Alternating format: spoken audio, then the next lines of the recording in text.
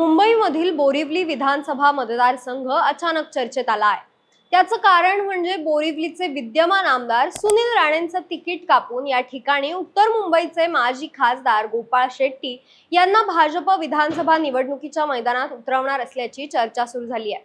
आता यदा कदाचित ही चर्चा खरी असली तर विधानसभा निवडणुकीत बोरिवली भाजपच्या हातातून जाण्याची शक्यता आहे. ती कशी ते जाणून घेऊयात आजच्या व्हिडिओच्या माध्यमातून. नमस्कार मी यशस्वी मुळे. तुम्ही बघत आहात महाराष्ट्र भूमी.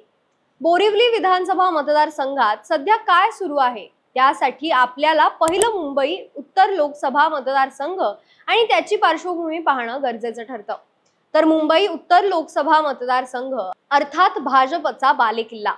एकोणवीसशे एकोणनव्वदच्या लोकसभा निवडणुकीत पहिल्यांदाच राम नाईकांनी इथं भारतीय जनता पक्षाचा झेंडा फडकवला होता. त्यानंतर एकोणावीसशे एक्क्याण्णव एकोणावीसशे शहाण्णव एकोणावीसशे अठ्ठ्याण्णव आणि एकोणावीसशे नव्याण्णव या सर्वच निवडणुकीत राम नाईक हे विजयी होत राहिले. त्यावेळी असं म्हटलं जायचं की राम नाईकांना इथून पराभूत करणं ही अशक्य गोष्ट आहे. मात्र दोन हजार चारच्या लोकसभा निवडणुकीत काँग्रेसनं एक वेगळा डाव टाकला आणि सिने अभिनेता गोविंदाला राम नाईकांच्या विरोधात निवडणुकीच्या मैदानात उतरवलं. त्यावेळी दोन्ही बाजूनं जोरदार प्रचार झाला. आणि प्रत्यक्षात जेव्हा निकाल लागला तेव्हा गोविंदांनी अठ्ठेचाळीस हजार दोनशे एकाहत्तर मतांनी संसद गाठली होती. यानंतर दोन हजार नऊच्या विधानसभा निवडणुकीत देखील इथं भाजपला पराभवाचा सामना करावा लागला. तेव्हा काँग्रेसनं संजय निरुपमांना इथून उमेदवारी दिली होती. तर ते फक्त पाच हजार सातशे एकोणऐंशी मतांनीच विजयी होऊ शकले होते. आता निरुपमांचं मताधिक्य सांगत होतं की हा भाग अद्यापही भाजपचाच बालेकिल्ला असून येणाऱ्या काळात इथं भाजपचंच वर्चस्व राहणार आहे. आणि झालं देखील तसंच. दोन हजार चौदाच्या लोकसभा निवडणुकीत भाजपनं इथून गोपाळ शेट्टींना उमेदवारी दिली. तर काँग्रेसकडून पुन्हा संजय निरुपम उमेदवार होते. तेव्हा मोदी लाटेमुळं हा मतदारसंघ भाजपनं चार लाख सेहेचाळीस हजार पाचशे ब्याऐंशी मतांनी जिंकला. पुढे दोन हजार एकोणावीसच्या लोकसभा निवडणुकीत भाजपनं पुन्हा गोपाळ शेट्टींना निवडणुकीच्या मैदानात उतरवलं. तर यावेळी काँग्रेसनं सिने अभिनेत्री उर्मिला मातोंडकरला उमेदवारी दिली. पण गोपाळ शेट्टी पुन्हा विजयी झाले. तसंच जवळजवळ एकोणावीस हजारांनी त्यांचं मताधिक्य देखील वाढलं.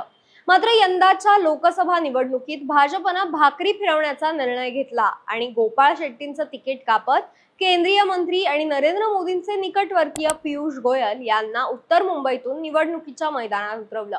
तर त्यांच्या विरोधात काँग्रेसकडून भूषण पाटील यांना उमेदवारी देण्यात आली होती.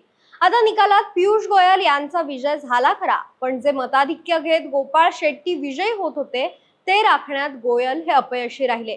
आता त्यांच्या घटलेल्या मताधिक्याचं कारण पाहायला गेलं तर इथं असलेला मराठी विरुद्ध अमराठी हा वाद समोर येतो. म्हणजेच उत्तर मुंबईच्या भागात बाहेरच्या राज्यातून आलेल्या नागरिकांची संख्या ही पूर्वीपासूनच जास्त प्रमाणात राहिलेली आहे. यात विशेषतः गुजराती व्यापारी उत्तर भारतीय आणि दक्षिण भारतीयांची संख्या मोठ्या प्रमाणात बघायला मिळते. त्यामुळे इथं राहणाऱ्या मराठी माणसांचाच त्यांच्यासोबत कायमच संघर्ष होत असतो.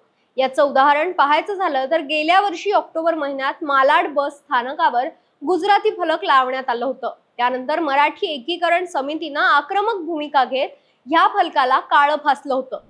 तसंच काही महिन्यापूर्वी बोरिवलीच्या स्वातंत्र्यवीर सावरकर उद्यानाला गुजराती फलक लावल्यामुळं देखील इथं मोठा वाद झाला होता.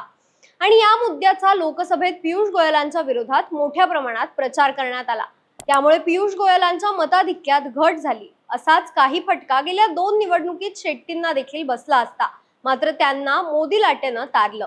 आता या मराठी विरुद्ध अमराठी वादाला आपण विधानसभा निवडणुकीसोबत जोडून पाहूयात. तर सध्याला सुरू असलेल्या चर्चांनुसार बोरिवली मतदारसंघाचे भाजपचे विद्यमान आमदार सुनील राणेंचं तिकीट कापत या ठिकाणाहून भाजप गोपाळ शेट्टींना विधानसभा निवडणुकीत उतरवण्याची तयारी दाखवत आहे.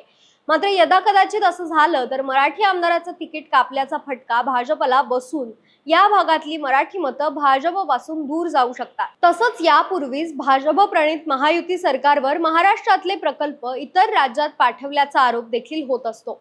त्यात सुनील राणेंची उमेदवारी कापल्याची भर ही भाजपला मुंबई पट्ट्यात महागात पडू शकते.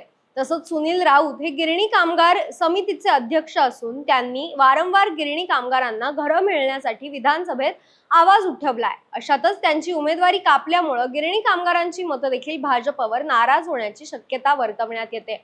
यामध्ये आणखी एक विशेष बाब सांगायची झाली तर बोरिवली भागात मोठ्या प्रमाणात कोकणी लोक राहतात.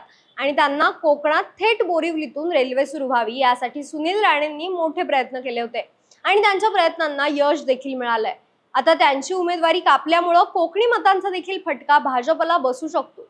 आता गोपाळ शेट्टींबद्दल जर बोलायचं झालं तर मतदारसंघाच्या पुनर्रचनेनंतर जेव्हा गोपाळ शेट्टींनी पहिल्यांदा बोरिवलीतून विधानसभा लढवली होती तेव्हा ते पराभवाच्या छायेत होते. मात्र काँग्रेस आणि मनसेच्या मराठी उमेदवारांमध्ये मतविभागणीमुळं त्यांचा विजय झाला होता. तर आता यंदाच्या विधानसभा निवडणुकीत पुन्हा गोपाळ शेट्टींच्या विरोधात मराठी उमेदवार असला तर मात्र ही बाब त्यांच्यासाठी पराभवाचं कारण ठरू शकते. तसंच सुनील राणे देखील नाराजीतून बंडखोरी करत ठाकरेंच्या माध्यमातून मैदानात उतरू शकतात. आता असं झालं तर भाजपकडून बोरिवली जाणार यात काहीच शंका नाही. यावर तुमची प्रतिक्रिया काय ते आम्हाला कमेंट्सच्या माध्यमातून नक्की कळवा. धन्यवाद.